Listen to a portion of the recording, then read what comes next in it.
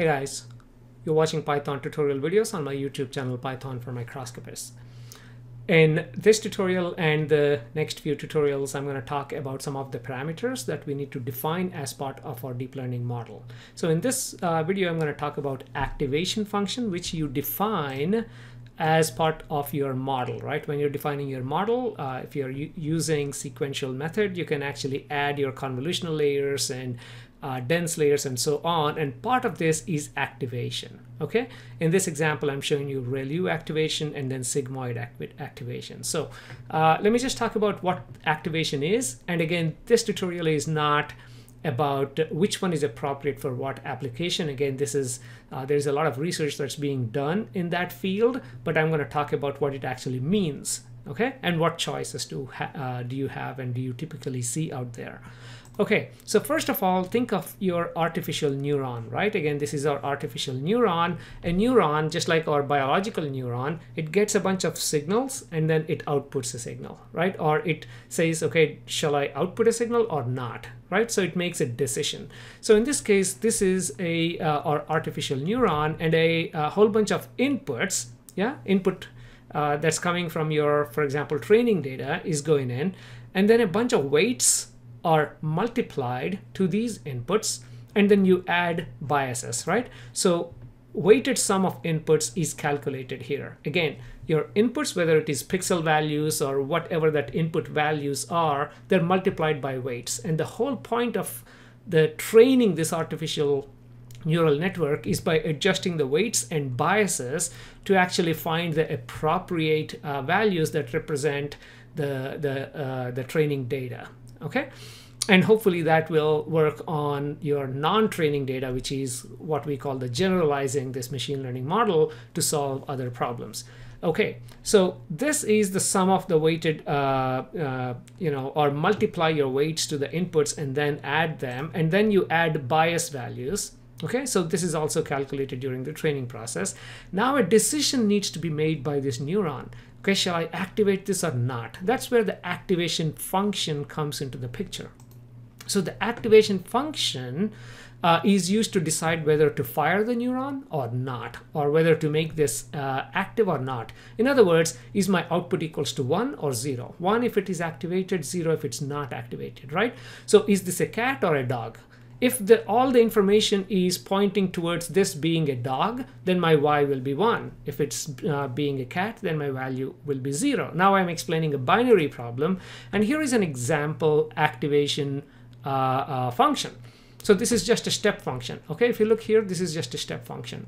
So anything below certain threshold, I set the threshold as 0, but this is just an arbitrary value on the y-axis. So anything below this threshold is a value of 0.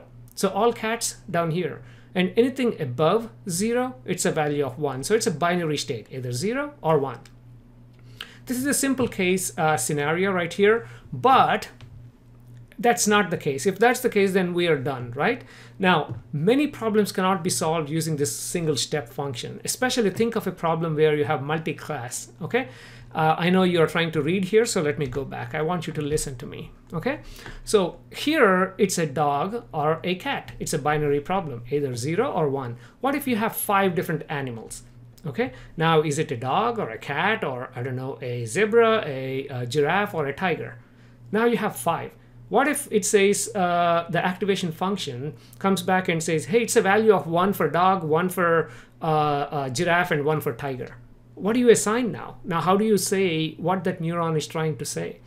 So that's why the binary is not always the case. Now, if you actually have, uh, what if the output or the activation function can actually give you a fraction rather than a number like one? For example, it says, okay, it's 0.2 giraffe, 0.2, uh, let's say some other animal, dog, okay? And then the remaining part of 0.6 it's uh, showing up as a tiger. Then you say, oh, okay, it's 60% chance that this is a tiger, so let's assign this neuron to that or this class to tiger, okay? So that's why you need different activation functions. Now, which one is right for what application? This is where uh, there has been some research out there and based on that initial, if you look at the, any code on GitHub, go back a decade, well, maybe five years ago, you'll see a lot of sigmoids, okay?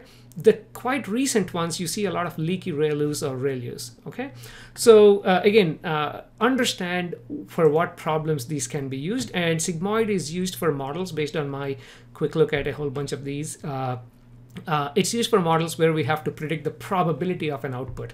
Uh, what is the probability of uh, something to happen? What is the probability of this being a tiger? It's 60%, right? So sigmoid is used in that cases. Tan H function is used for classification between two classes, okay? It's for a classification purpose. And ReLU is the most commonly used ones in the convolutional neural networks where you actually have this image uh, classification and uh, even for, uh, uh you know, uh, semantic uh, segmentations and others, you'll see some of these ReLU activation functions, especially in the convolutional layer part.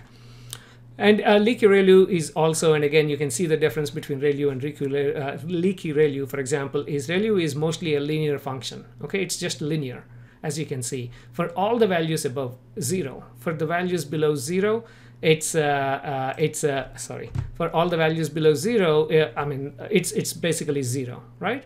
Uh, for uh, so so again let's study this and for leaky ReLU it's not absolutely zero for the values below zero but there is some uh, uh, some value, negative value associated to that. And uh, some of these, again, the effectiveness of this, you should also look at how the gradient of this actually looks like. Or if you do a first order differential of this straight line, what what is it? It's it's one single value right? It's one single value at if the slope is one then it's one single value of one. So we can get into deep math if you want uh, again uh, read other material online but these are the options that you have. Okay so in the next tutorial let me actually cover the next topic of loss functions. So let me end this video here and then let's talk about loss functions in the next tutorial. Thank you very much for your attention